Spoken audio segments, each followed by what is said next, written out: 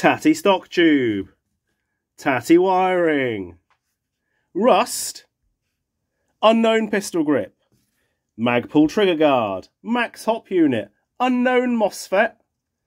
Black lower. Stickers. Did I mention rust yet?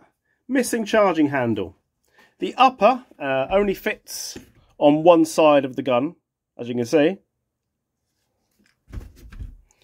Aries cylinder, G&G gearbox casing, Pro-Win hop unit, nasty Neutroli Bocker rail thing, big long muddy suppressor, which means probably, I'm going to guess, this is going to house a big long barrel, or not.